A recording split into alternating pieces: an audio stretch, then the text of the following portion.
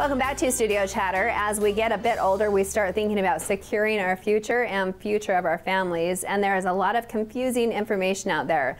Let's get it straight from the attorney. Welcome Kyle Dart with Dart Law to the program. Hello, Hello, Kyle. Kyle. Hi there. Welcome. We finally wraggled him in here. Yeah, thanks for having me. People try to like hide from us when we start to ask. but okay, Kyle, I kind of know who you are because I was able to work with you in football and your cute wife, and I've just known you guys. But tell us a little bit about you and who you are and your family. Yeah, so um, Kyle Dart, I'm a local attorney here in Spanish Fork, and I was born and raised in Spanish Fork, lived here my whole life. I, I moved away for about 12 or 13 years to go to school, and then I worked in North Carolina and Denver, Colorado for a few years, and then uh, my wife and I moved back. Uh, it's been about seven years now that we moved back.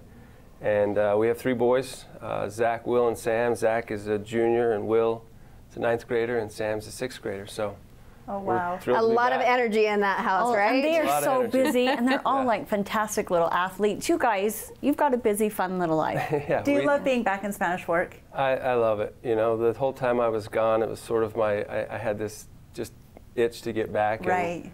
Um, you know, I have four brothers that, that live here that I'm really close with, and a lot of my good friends, best friends are here. And so it's been really great I to be back in missed it. town. I did. Yeah. Yeah, it's a, it's a great Even though place to North live. Carolina sounds fabulous to grow Yeah, up to have some to. time. Yeah. Yeah, luckily Allie's family's still back there, so we, we usually get back there once or twice a year. And Mm. Okay. Is that where she's from? It is, Yep. yeah. Oh, okay. Yeah, she lives on a, on a little island just off the coast of North Carolina. so- Oh, Okay. well, Very that's not pretty. too Fabulous shabby. little twangy accent that I just love. Oh. Super cute. Yep. Yeah. I love that. Yeah. And you've got the Spanish fork accent, I've Kyle. got the so that Spanish accent. It's really true, yeah. She'll some, she sometimes tells me I talk funny, and I say that's that's interesting coming from someone from the south. So. so true. So, Kyle, do you specialize as a lawyer in estate planning? I do. Okay. Yeah. Explain that, because like I wouldn't even know how to explain like, do planning. we have estates? But yes, explain Yeah. to us what it is. Yeah. So estate planning is is uh, an area of law that it, it really encompasses two kind of two areas. The first is um, what happens if I become incapacitated, if I'm I'm not able to handle my own affairs.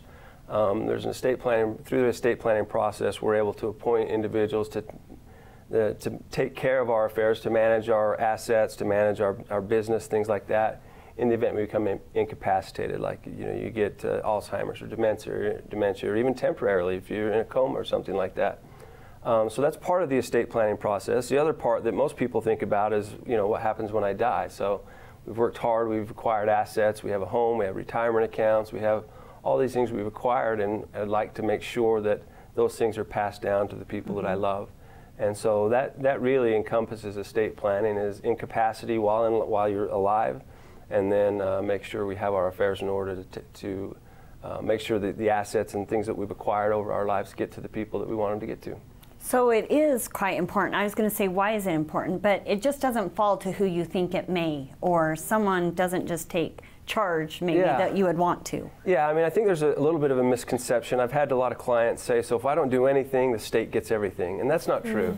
Okay. Uh, it doesn't just go to the state. There's what's called an intestate statute that um, dictates how your property is going to be distributed. And, and in general, it would eventually get to your family. But having an estate planning process or in place, I think, does a couple of things. Number one, it allows you to say exactly how you want it to be. So that there isn't a, there is an intestate statute that would govern what happens if you don't have anything in place, but you might not like what the, the statute says. And so, Oh. with a, with a, uh, an estate plan in place, you get to say how things are going to be distributed. You also get to um, say who's going to administer the estate, who's going to be in charge, who am I going to ask to help make sure that my, my wishes are carried out.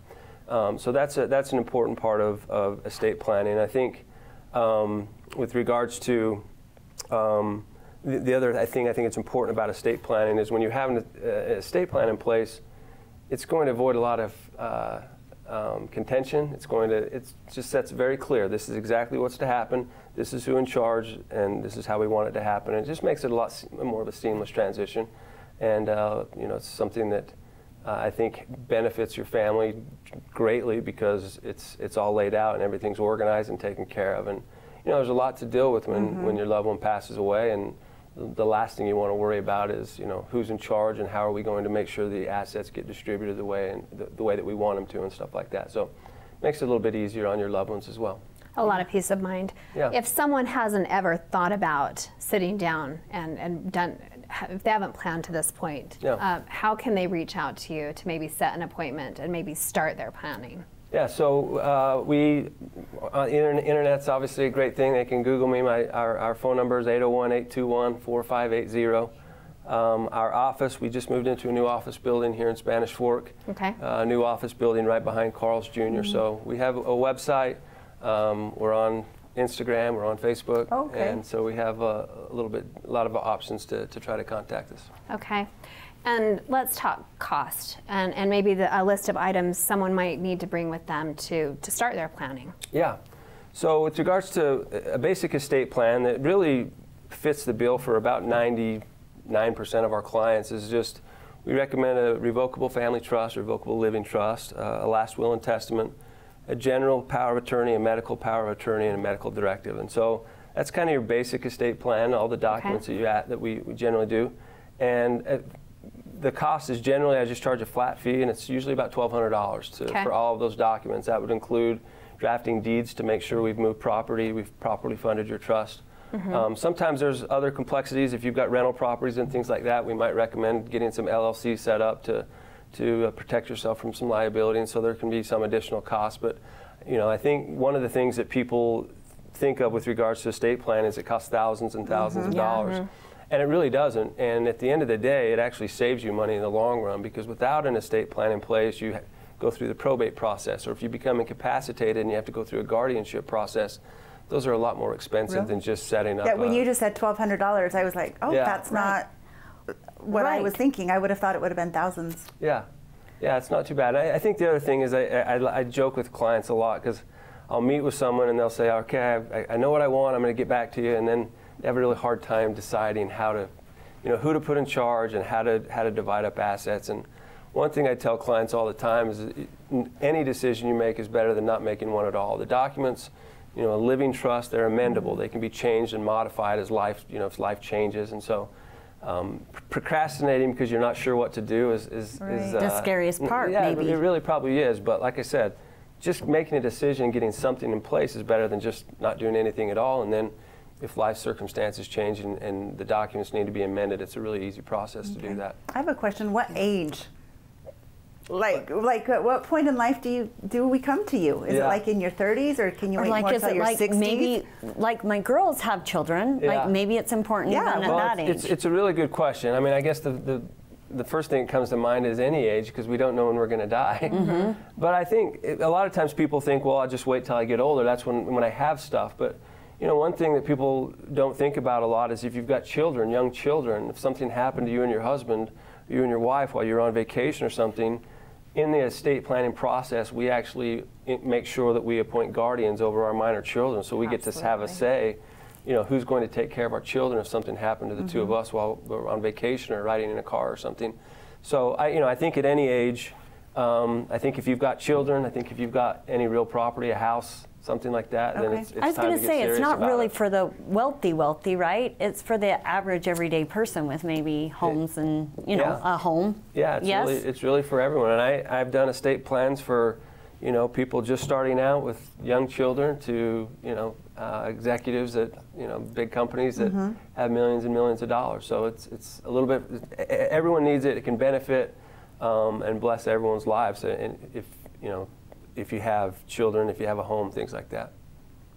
And once you draft a plan, how often should you be updating those plans? Yeah, so that's a, that's a really good I'm not question. guilty. I'm just saying. I, I usually encourage clients to take a look at it every few years. I mean, it's not something that you have to, you know, check out check out on a monthly basis or anything like that. But I think especially when when um, you know you have big life circumstances, with kids, your children get married, your children become adults.